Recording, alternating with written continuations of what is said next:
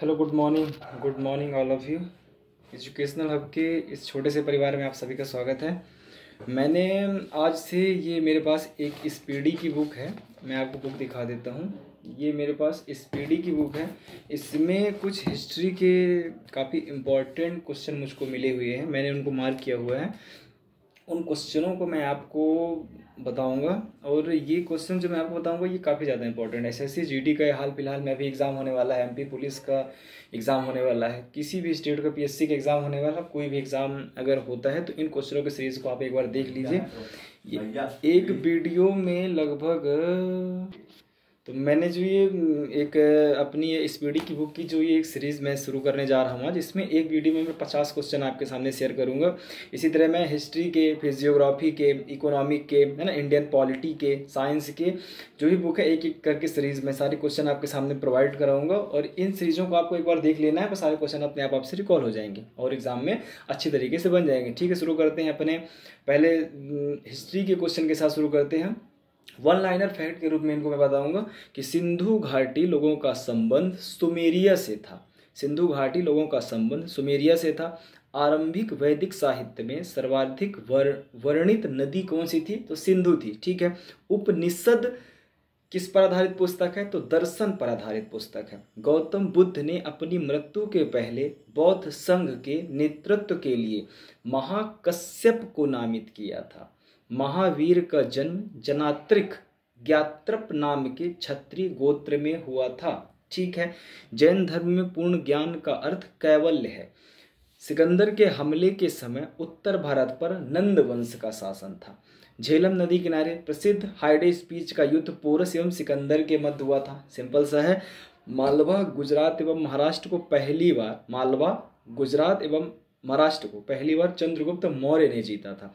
कौटिल्य के अर्थशास्त्र की तुलना मैकिया वैली के द प्रिंस से की गई है। ठीक है? मुरुगन देवता की उपासना तमिलों ने सबसे पहले शुरू की थी। ठीक है? भारतीयों के लिए महान सिल्क मार्ग।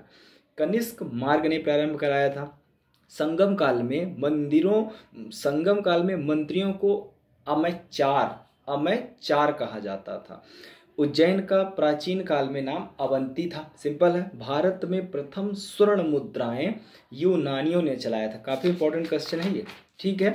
अगला, मथुरा संग्रहालय में कुषाण काल के मूर्तियों का संग्रह अधिक मात्रा में। मथुरा संग्रहालय में कुषाण काल के मूर्तियों का संग्रह जो है तो अधिक मात्रा में है यहाँ पे।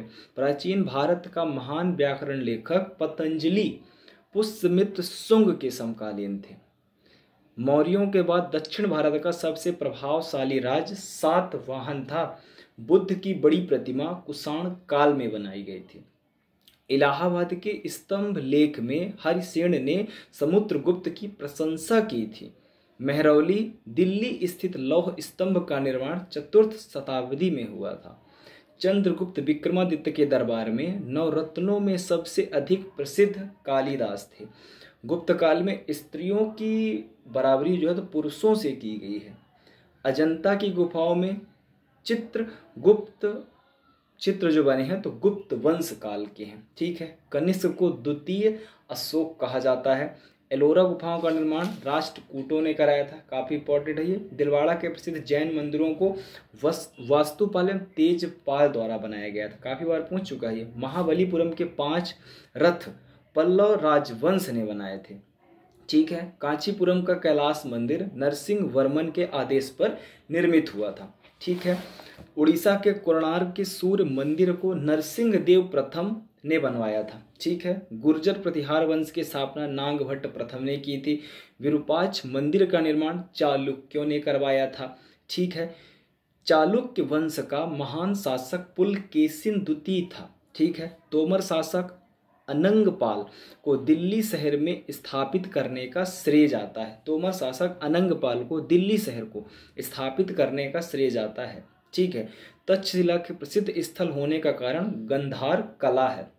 राजेंद्र चोल द्वारा किए गए बंगाल अभियान के समय बंगाल का शासक महिपाल प्रथम था। ठीक है, चोल राजाओं ने शैव धर्म को संरक्षण प्रदान किया था। ठीक है? महमूद गजनबी गुजरात के प्रसिद्ध सोमनाथ मंदिर को।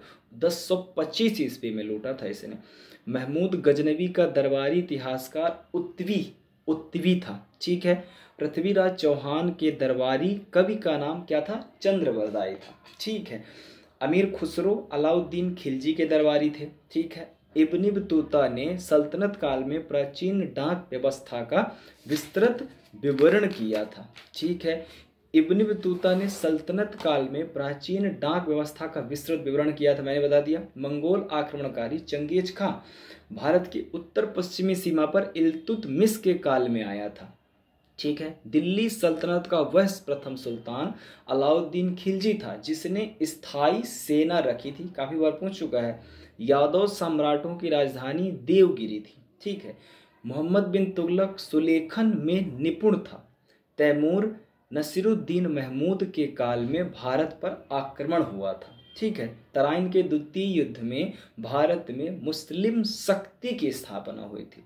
अमीर खुसरो, हिंदी और पारसी दोनों भाषाओं का विद्वान था। ठीक है, सिंपल सा है। मोहम्मद गौरी को सबसे पहले भीम द्वितीय ने पराजित किया था।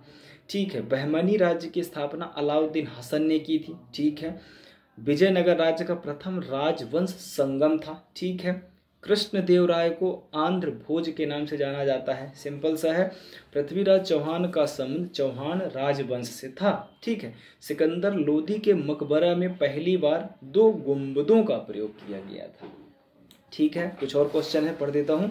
प्रथम भक्ति आंदोलन का आयोजक रामानुजाचार्य ने किया था। प्रथम भक्ति आंदोलन का आयोजन रामानुजाचार्य ने किया था।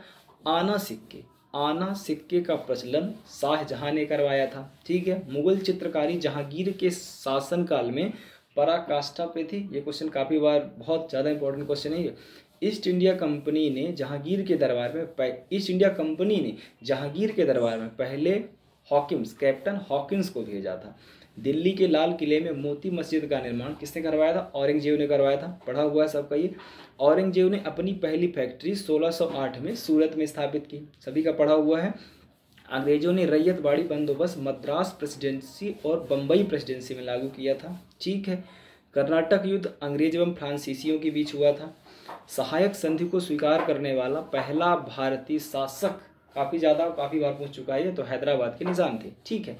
मराठा राज्य का दूसरा संस्थापक बालाजी विश्वनाथ को कहा जाता है, ठीक है। नादिर शाह, मुगल शासक मोहम्मद शाह के शासनकाल में भारत पर आक्रमण किया था नादिर शाह ने। मुगल सम्राटों में सबसे लंबा शासन जो है अकबर का रहा है, ठीक है।